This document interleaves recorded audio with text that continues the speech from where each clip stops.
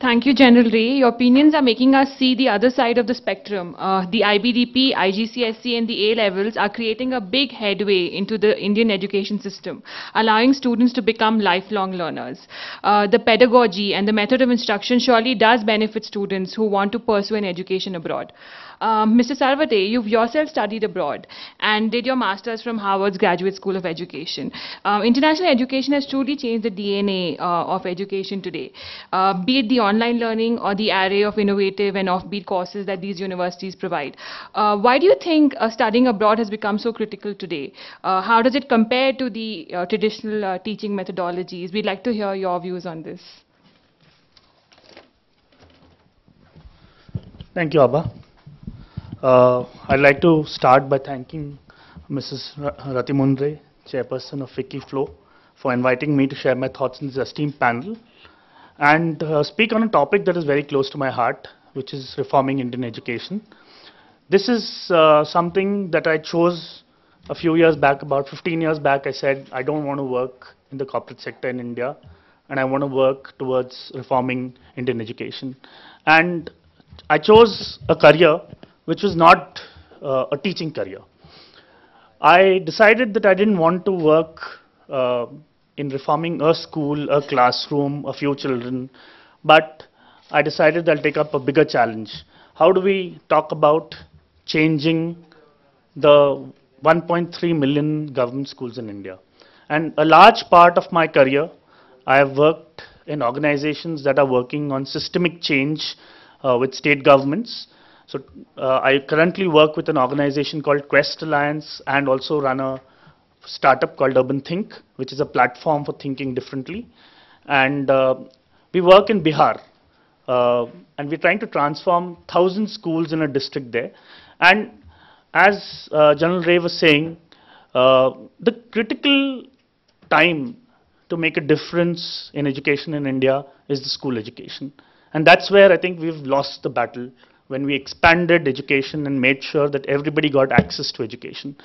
And yes, all of us got, you know, all, all children in India got access, but we decreased the quality, increased the marks, inflated the marks, and now everybody gets 100, and so, you know, nobody can be held responsible. Because if you get 100% marks, who is, uh, you know, who, who's to be held responsible? Because the teachers are saying we're doing a job, the college is saying we can't admit you because everybody's got 100. So if you've got 99, we can't admit you. So who are we going to hold responsible? Surprisingly, uh, many researchers in India did very interesting tests, and Pratham, uh, an NGO that does annual survey of education report, have found consistently in most rural locations as well as urban locations that majority 66% of the children in class 5 cannot read class 2 level text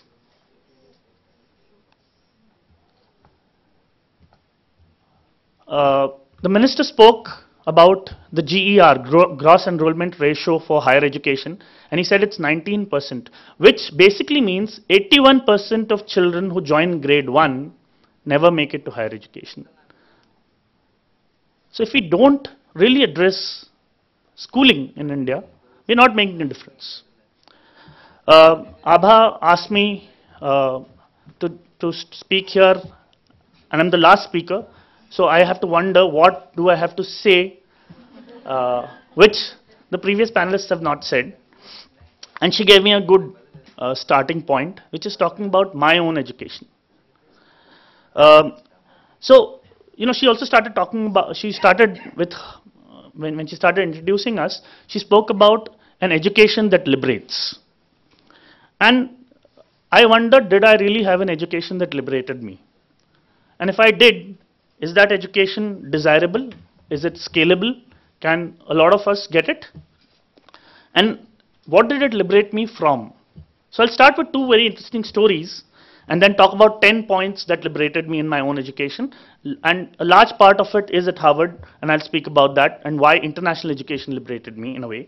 Um, so I, I was once traveling in Ut- Uttar Pradesh, in a, and we'd gone to visit a government school, and we stopped on the side of a road and there was another private school. So I went and talked to a boy there and I said कि आप क्या करते हो आप पढ़ रहे हो ये कर रहे हो so he said हाँ ये है हमारी किताब he was in eighth so I said क्या आप पढ़ सकते हो आप पढ़ के दिखाओ अपना you know I hope all of you can understand Hindi so I asked him to read from the textbook and he says देख के पढ़ना है या बिना देखे पढ़ना है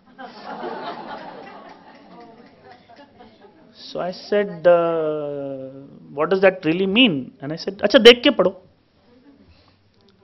so he said he read out his chapter and then I asked him questions. And he didn't know what he had read. But this is true. Across across our government schools, and I've, and I've traveled, uh, I've worked in Azim Premji Foundation for a number of years and I've worked in about 8 to 10 Indian states. And this is true in every school in India that they can read but they don't understand what they read. The second uh, uh, story I want to share is a few years back I was asked to write minutes in a meeting and nothing against taking minutes. But uh, while I was writing the minutes, I was very frustrated because I couldn't really participate because I was busy trying to note down what other people were saying. And immediately, the first thought that came to my mind was about my school. What, what was I doing? The teacher was talking, the teacher was writing, and I was copying, copying, copying, copying, copying. All my education has been in small towns.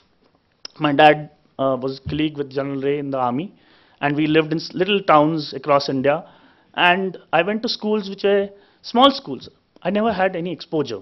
I didn't even know that a course called BCom existed before I did my 12th because I was in a small town in Rajasthan, and there uh, I didn't know that there was a, something called commerce. And I was lucky that my dad got posted to Pune. I got into BCom and I did my MBA there. And then I joined the corporate sector and I said, mm, this is not working. Uh, I, I was just not excited by the challenges it was giving me. And I said that, you know, education is a bigger challenge and I wanted to work on that. And I took some good advice and I decided I'd go and study abroad. Now, here is where a transformation happened really. Because a large part of the last hundred years, we have adopted, built, and nurtured an education system that has made us lose our freedom. And for the first time, I saw a glimpse of an education system which was gifting that freedom back to me. The first was, the first very interesting thing that I found was that uh, when, I, when I was looking for courses, so I wanted to do uh, something in education. That was my original broad thought. I'd left my corporate sector life and I decided I'll do something in education. This is 1998. And I said, what can I do? So I went to universities in India and Manipal University wasn't there, which would allow me to do various other things. Uh, so uh, I went and I talked to them and they said, oh, you have to do a B.Ed. But I didn't want to be a teacher. They said, oh, then you must do an MEd, but for doing an MEd, you have to do a B.Ed. so I said, this is very bad. So I said, okay, let me look at abroad. And I started looking at looking abroad. And I found uh, a very interesting thing. I, I was looking at brochures, and the brochure was itself freedom. I looked at Columbia University's brochure, and they had 50 master's courses just in education. And none of them required me to do a B.Ed. And I said, wow, this is, a, this is an education. Just reading that brochure was an education. I never knew that I could study so many varied things in education. So I applied to a lot of places and I managed to get into Harvard, a very interesting course. Uh, there, the first week was a very interesting week. And we talked about the choice, you know, uh, uh, the century of brands and the century of choices and, and, and consumerism. The first week was called Shopping Week. So I said, wow, I, I've hated shopping all my life, you know, and here I have to do shopping. But this is the best shopping week of my life. What, it, what they expected you to do is you could attend any course that any professor was offering in the first two weeks. So two weeks were shopping weeks, and we could go into any class, sit there and listen to what the professor had to say, and he was basically selling his course. He was saying, why should you do this course? Why will it be interesting to you? What changes will you do in your own country, in your own world, in your own situation? How will this course help you to change the world? And wow, I was absolutely mesmerized. Never before had I this kind of choice where, you know, there were 100, 150 courses on offer, and I could sit through them and say, oh, this looks really interesting. So I had, I had a plan before I went to study at Harvard, saying these are the courses I'll study. And when I went for the shopping week, I was blown away. I said, how can I attend 100 classes at once? So I, so I chose a few, and I remember one of them I chose, which is superb. It was called um, uh, Cultures in Education. And it looked at how education culture is developing in different countries around the world. And they used a comparative approach uh, in teaching that class.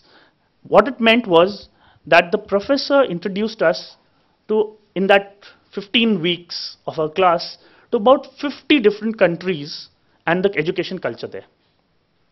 And again, it was so amazing to look at what was happening in Malawi, what was happening in Nepal, what was happening in South America, what was happening in so many different places, what all was happening, and what people called an education, what did they want. And we read about the Chinese who wanted to be American, and the Americans who wanted to be more like Indians, you know, uh, something General Ray talked about also, uh, you know.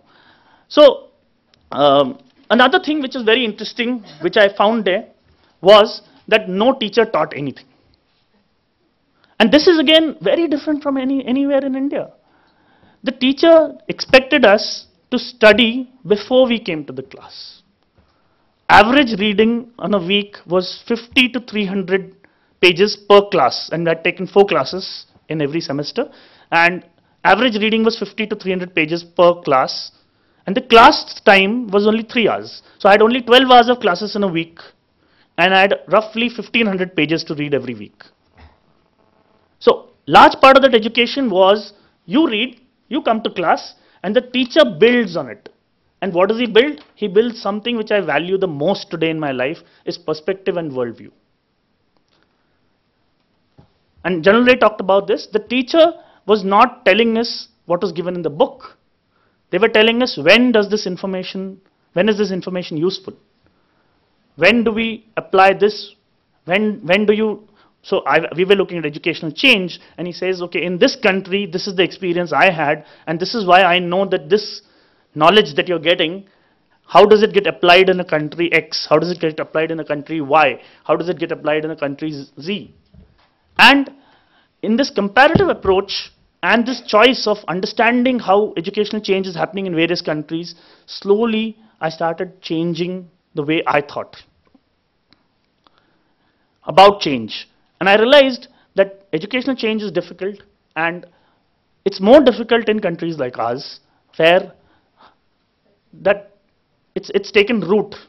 The, uh, the, the system of rote memorization, uh, that many of the panelists talked about has taken root, has taken deep roots. It's very difficult to remove it. Today, as we work on transforming schools, we realize it's extremely difficult to go and tell the teacher, don't teach like this.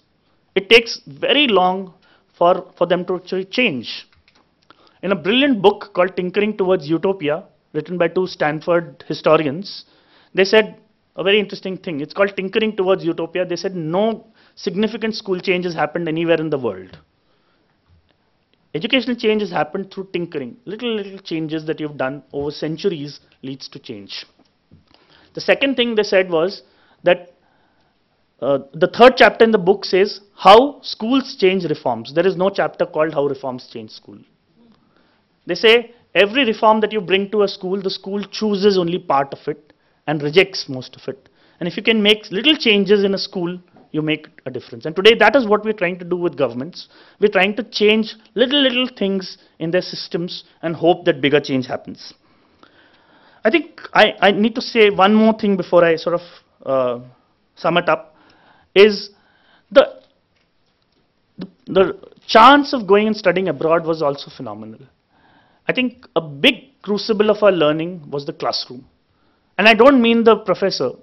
There was a professor who had done a PhD from Stanford who was teaching us, and she said a very interesting thing. She says, Look around you.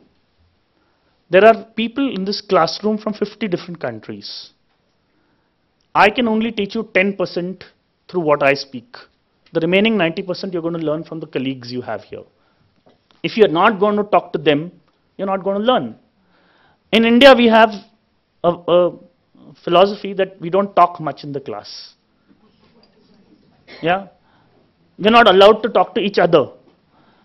Fif about 50% uh, of our marks in every exam, there were no exams, but 50% of our evaluation was based on interaction, classroom interaction. And if you didn't talk in the class, you finished. So there's a, there's a story that, is, that the director of teacher education in Stanford told me. She said there was an Indian student who had come. Uh, she'd done uh, a course in Central Institute of Education, one of the leading institutes in India, and she'd gone to do a PhD in, uh, in Stanford. And uh, one of the professors asked her, What do you think? And she, she looked at him, frowned at him, and said, Why are you asking me what I think? I've paid a lot of money and come here to, ask, to listen to what you think.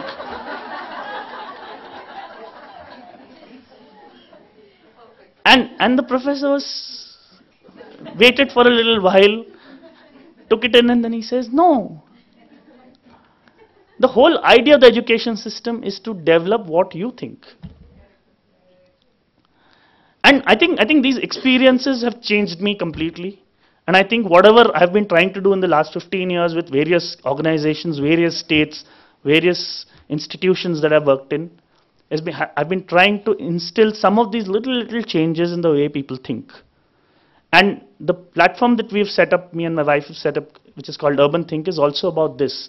We wanted to call it New Think, but then we deliberately chose a different word, and we said Urban Think. And urban is not urbanization, but urban is how do we start a new wave of thinking.